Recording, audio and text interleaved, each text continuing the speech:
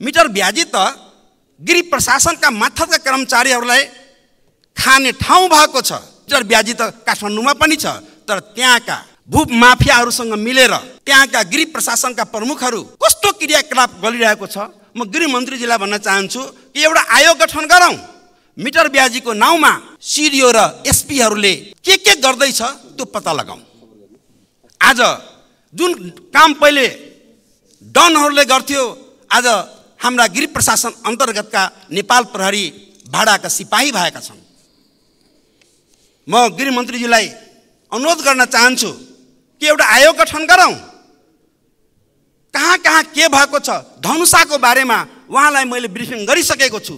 यदि त्यो धनुषावासीले न्याय पाएन भने यो सरकारप्रतिको सोच धनुषावासीको कस्तो हुन्छ त्यो म भन्न सक्दिनँ।